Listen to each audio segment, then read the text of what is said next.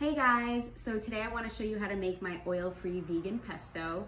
It only requires one kitchen tool, which is the food processor, makes it super easy, and it doesn't require a lot of ingredients as you can see them here. So we'll go through how to make it.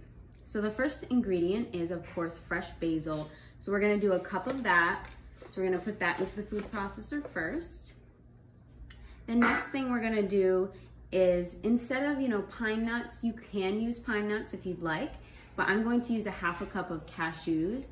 These are just raw cashews. Very important ingredient here to make it that little bit of a cheesy flavor is nutritional yeast.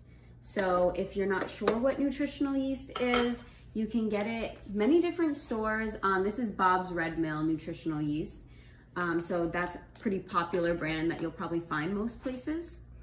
And of course, one of my favorite ingredients is garlic. So this is two cloves of garlic.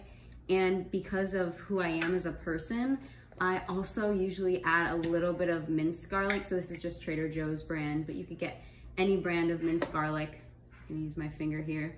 Um, and put some minced garlic in there as well because you can never go wrong with too much flavor, right? For more, a little bit of more flavor, we're gonna do a little bit of salt and pepper. So this is just actually an eighth of a teaspoon of salt and a quarter of a teaspoon of pepper. And the final two ingredients. So firstly, we'll show you the half of a juice from half of a lemon. So we're just using our nice little hand tool here, but you don't have to. You could use your hand if you really wanted to. Just gonna squeeze all the juice out of there. And the last ingredient is a flax egg. So you'd wanna use ground flax, flax meal. It's called a bunch of different things. You take two tablespoons of that and mix it with three to four tablespoons of water. You want a gel-like consistency. Um, you can kind of see that here. Whoops, I spilled a little bit. Uh, and you're gonna pour that in there. And what this does is it kind of holds the ingredients together like an egg would hold ingredients together in a recipe, but it's a flax egg instead. No animal products here. So now all we have to do is blend it up. So we're food processing it on high for as long as it takes to really get it that pesto consistency. We don't want it to be too chunky, um, but we still want it to have a little bit of a texture to it. So we're gonna blend it up. And sometimes you'll need to just scrape down the sides. So I have this nice rubber spatula. Just gonna scrape down the sides, probably food process it for a little bit longer, and then it's done. All right, so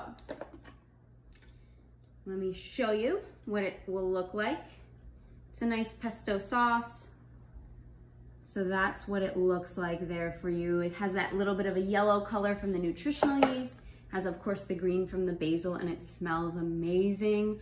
Uh, my favorite way to use it, I have two favorite ways to use it. One of them I just posted on Instagram, so if you wanna check that out, you can look in the link in the description. But the other way I like to use it is I like to make homemade gnocchi and then I put it on that and it's really good that way. Um, so I hope you guys enjoy this recipe. Please let me know if you try it out. You can comment below on any ideas that you're looking for or any recipes you're looking for or any information that you wanna know about nutrition. And I will see you in the next video.